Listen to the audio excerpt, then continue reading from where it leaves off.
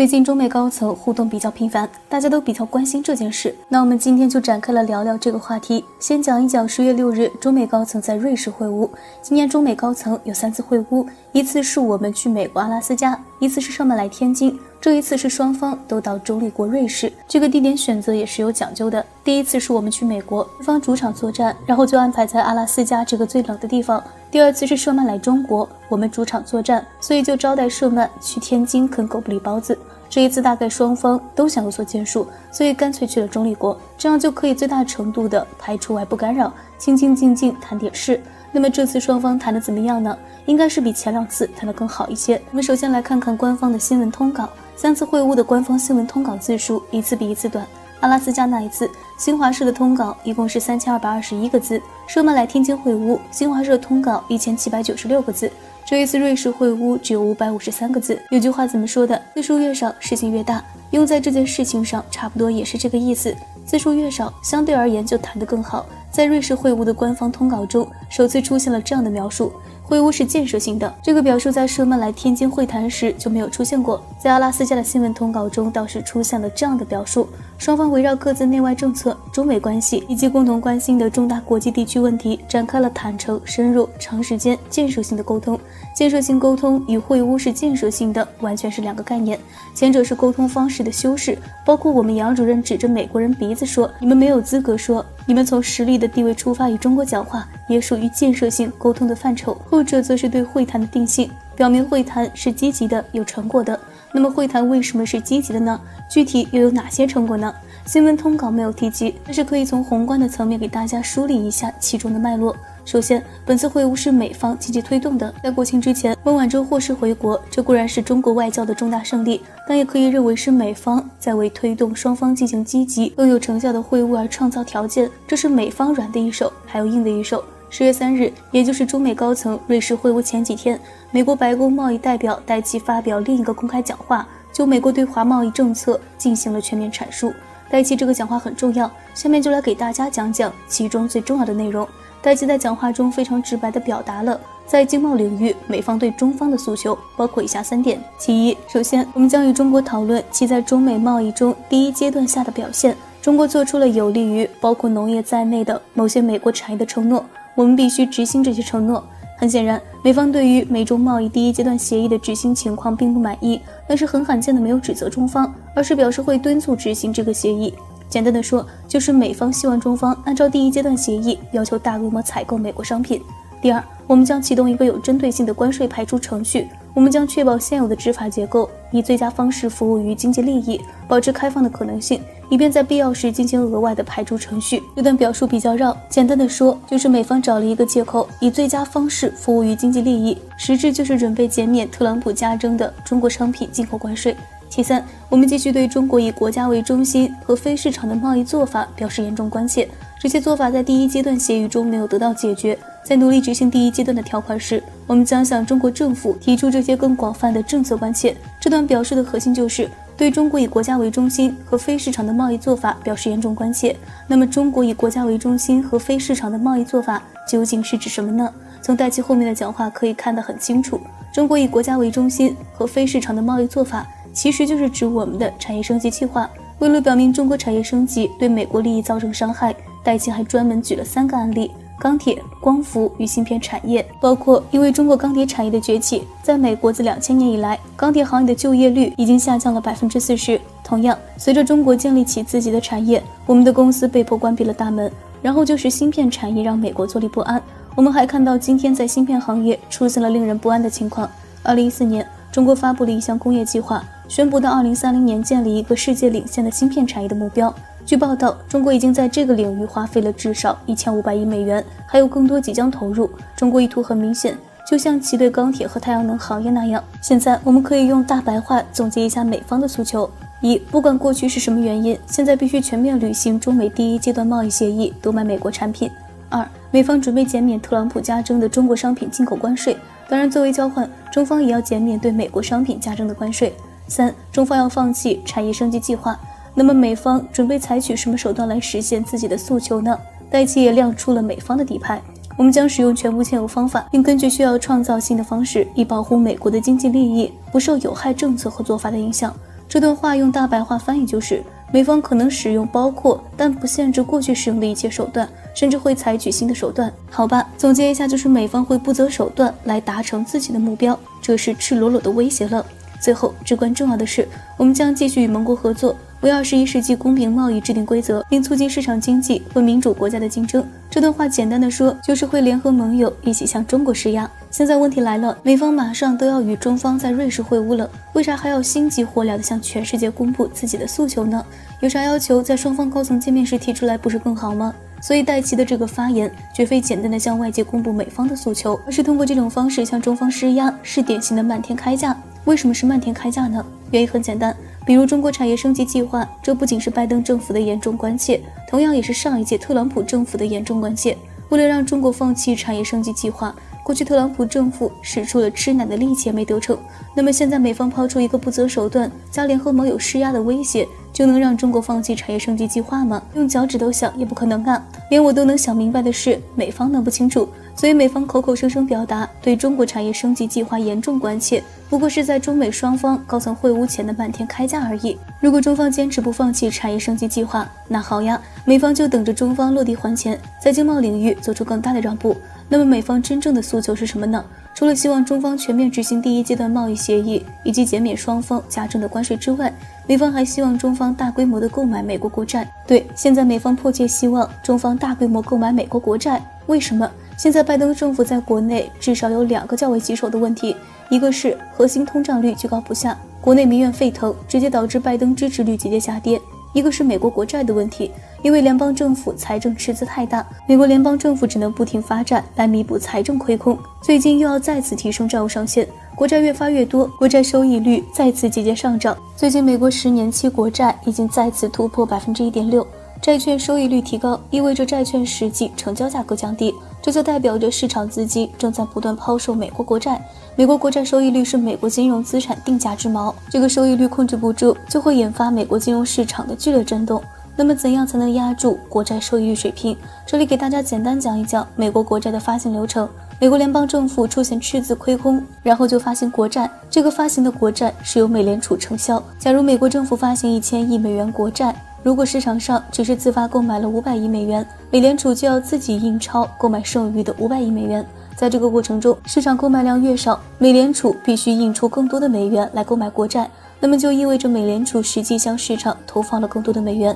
去年疫情之后，美联储向市场投放了几万亿美元。主要就是通过这个印钞购买国债的渠道，所以如果中国承诺大规模购买美国国债，谁都知道现在中国是出口最强劲的国家，也就是外汇储备最高的国家。中国承诺大规模购买美国国债，就极大的增强了市场对美国国债的信心，因此会有大量跟风资金买进美国国债。这不但可以压低国债收益率，另一方面美联储也能大大降低货币投放力度，从而有效的控制通胀水平。去年五月，美国财长耶伦就专门给我们打来电话。当时就提出要求，希望以取消特朗普加征的关税作为条件，换取中方大规模购买美国国债。耶伦这个算盘打得很精。当时中国是全球唯一的能正常生产的国家，即使有加征的关税，今年中国对美出口也保持大幅增长。实际上，美方加征的关税基本都是美国进口商承担的。当时即使取消加征的关税，对中国出口利好有限，反而有利于美方控制通胀。所以当时中方拒绝了耶伦这个提议，不但没有增持美国国债，在后面几个月还在持续小幅减持美国国债。现在大家明白为啥戴奇在中美高层会晤之前公布美方在经贸领域的诉求，其中更是以较大篇幅表达美方对中方产业升级计划的严重关切。说白一点，就是在正常情况下，美方无法让中方接受关税换国债的诉求，所以只能拿着中国产业升级计划说事，企图以放弃对中国产业升级计划的严重关切，换取中方接受美方关税换国债的条件。但是美方很明白，中国产业升级计划是中方的核心利益，如果对中方这个核心利益态度强硬，可能会激怒中方。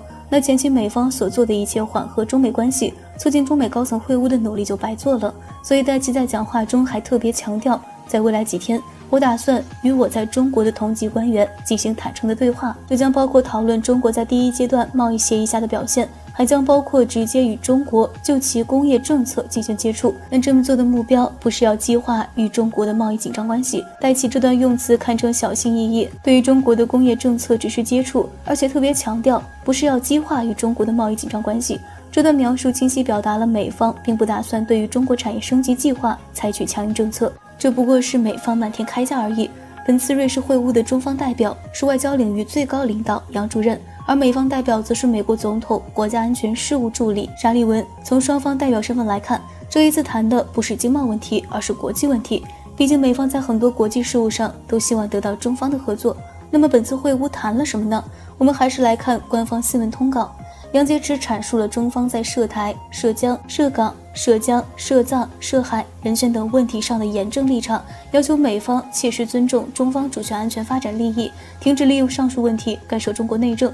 关于中方在涉及中国主权问题上的立场，其实我们在不同场合阐述过很多次了。为啥本次高层会晤，我们杨主任还要再次复述一次呢？合理的逻辑解释就是，美方代表沙利文上来就在涉台、涉港、涉疆、涉藏、涉海人权等问题上对中方进行指责，然后就被杨主任毫不客气地怼了回去。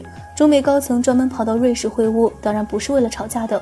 如果本次会晤双方只是大吵一架，官方新闻通稿也不会对此定性为。会晤是建设性的。沙利文前期对中国主权问题进行指手画脚，是美方惯例，希望在气势上做到先声夺人。双方真正谈的问题是这一句，双方还就气候变化和共同关心的地区问题交换了意见。真正会晤是建设性的，就在于这句话上。如果会晤有成果，也应该在这句话上。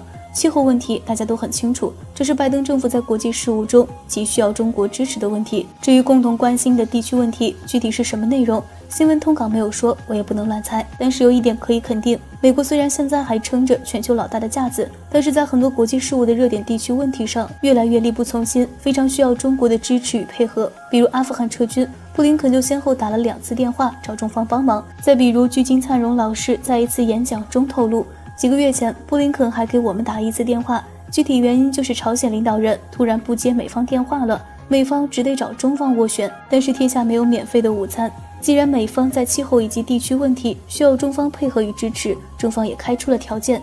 美方应该深刻认识两国关系互利共赢的本质，正确认识中方内外政策和战略意图。中方反对以竞争来定义中美关系，对美方必须把中美关系定义中的竞争两字给我抹掉。这个很关键，在特朗普时代，将中美关系直接定义为竞争，所以中美关系急剧恶化。拜登上台之后，对于中美关系定义稍微调整了一下，变成该合作是合作，该竞争是竞争。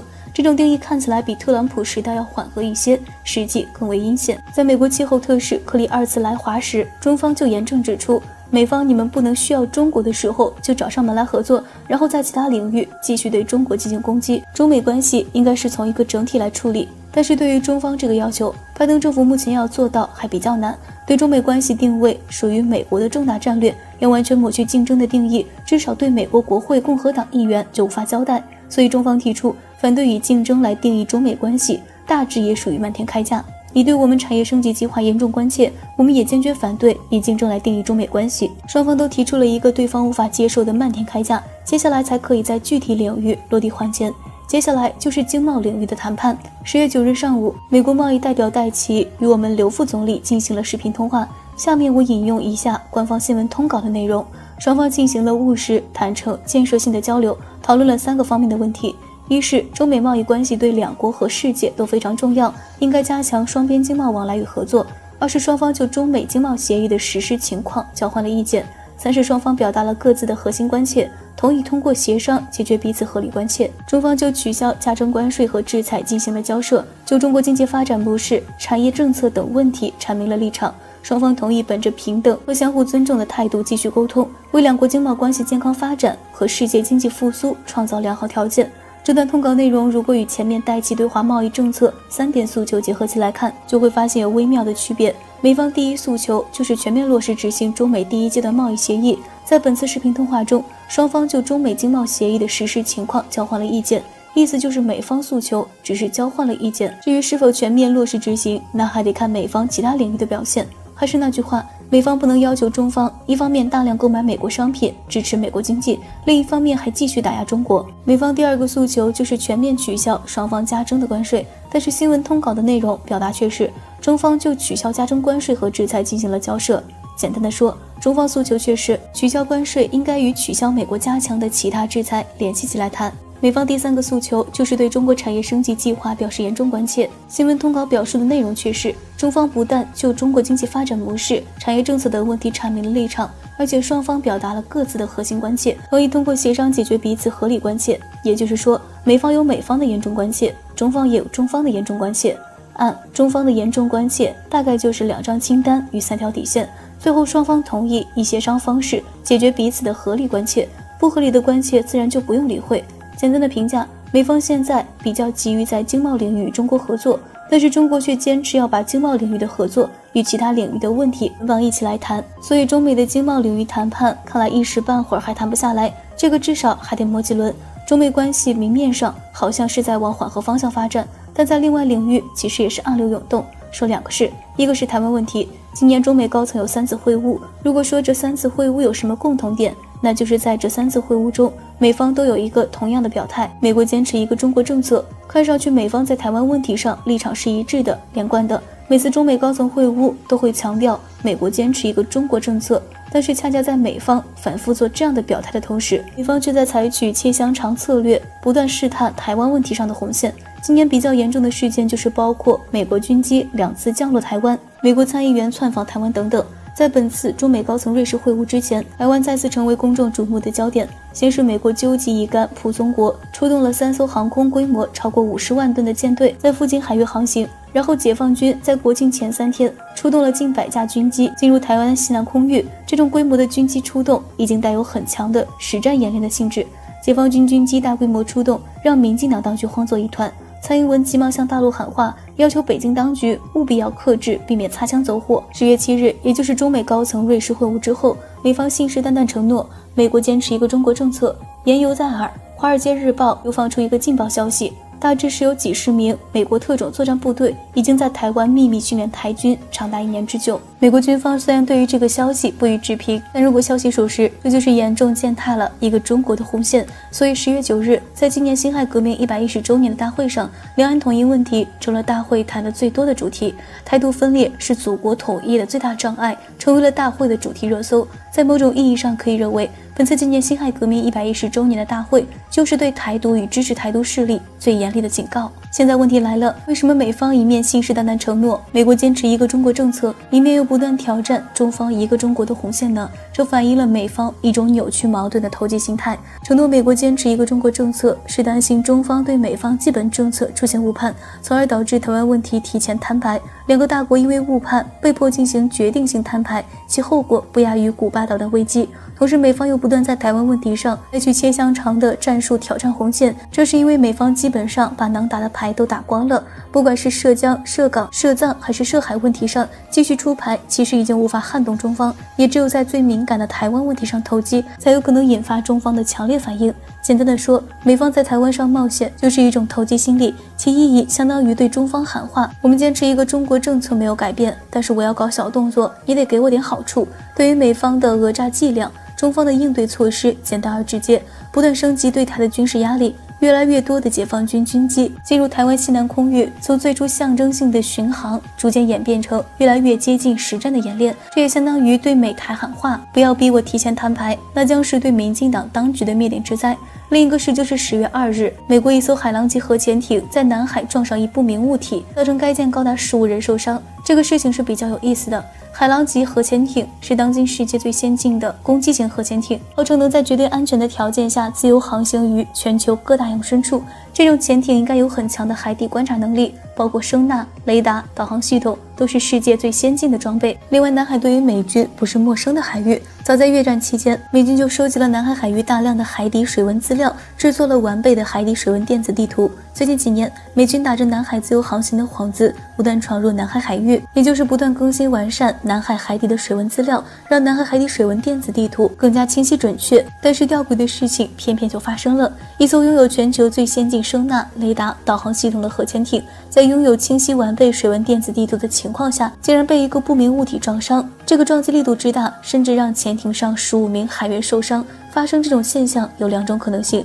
其一，美军核潜艇在海底航行过程中突然出现了海底水文电子地图所没有的海底障碍物，比如大自然鬼斧神工造就的珊瑚、暗礁。美军在猝不及防之下，加上操作不当，引发了剧烈撞击。但是这种可能性就有一个前提：这个大自然鬼斧神工造就的海底障碍物，恰好就精准地出现在了美军核潜艇经常行驶的航线上，让美军完全没有防备。其二，如果是有意的反制，就更有意思了。一个不明物体既能做到让美军核潜艇都毫无察觉，还狠狠地撞上了美军核潜艇。假如这个不明物体是一颗导弹，那美军核潜艇就不是撞击受伤的问题了，而是被击沉了。这就是充分展示自己的实力。对于打着南海自由航行的美军核潜艇，最严厉的警告：真要下杀手，击沉你们易如反掌。那么这两种可能性，哪一种更接近事件的真相？给大家列举一组事件的时间线：九月十五日，英美宣布将帮助土澳建设一支核潜艇部队。土澳拥有核潜艇，还能干什么？不就是准备跑到南海来碰瓷吗？然后十月二日，美军最先进的核潜艇就恰好在南海被不明物体撞伤了。这一切仅仅是巧合吗？我觉得不是。对于土澳而言，这也算是大自然鬼斧神工的严厉警告。你要美军核潜艇能有啥用处？你真敢来南海碰瓷，取你项上人头如探囊取物。最妙的是，明明是美军吃了一个哑巴亏，我们外交部还不依不饶。十月八日，在外交部例行新闻发布会上。赵立坚对美军核潜艇受到撞击事件表示严重关切，并且直接对美军提出灵魂的拷问。美军应详细澄清事故有关情况。包括事故发生详细地点、美方航行意图、事故详情、到底碰撞了什么、是否造成核泄漏、是否破坏了当地海洋环境等等这些问题，对美军就是赤裸裸的羞辱了，相当于一个黑社会老大突然被人暗算敲了一下闷棍，本来就很丢脸了，现在还有人跳出来指着这个黑帮老大鼻子，逼着他讲一讲这个挨闷棍的过程。这还没完，赵立坚指出。长期以来，美方打着航行自由的旗号，在南海兴风作浪，就是此次事故的根源，对地区和平稳定构成严重威胁和重大风险。美方此次故意拖延和隐瞒事故详情，缺乏透明度，不负责任，俄方及南海周边国家不得不质疑事件真相和美方意图。这段发言的意思很清楚。如果美方核潜艇没来南海，那么就不会发生本次可能导致核泄漏的撞击事故。最后还顺便狠狠敲打了一下土澳。赵立坚指出，美国和英国最近决定与澳大利亚这一无核武器国家开展核潜艇合作，肆无忌惮地向亚太地区扩散核潜艇。此举是将制造核扩散风险，诱发军备竞赛，破坏东南亚无核区建设，发生核事故的概率也会大幅上升。敲黑板，说重点。假如土澳未来也拥有核潜艇，也跑来南海碰瓷，那么发生事故的概率也会大幅上升。土澳那几艘核潜艇，大概被不明物体撞个七八次，就该全军覆灭了吧？一千亿美元搞来的货色，几下就赔个精光。那么土澳辛辛苦苦建一支核潜艇部队，有何意义？现在的中美关系有点类似于抗美援朝战役后期，双方一方面在板门店谈判，在各种细节上反复拉锯。另一方面，双方同时也在战场上明刀明枪的较量。虽然大规模战役不会再有了，但是也有可能发生类似上甘岭战役那样血腥的搏。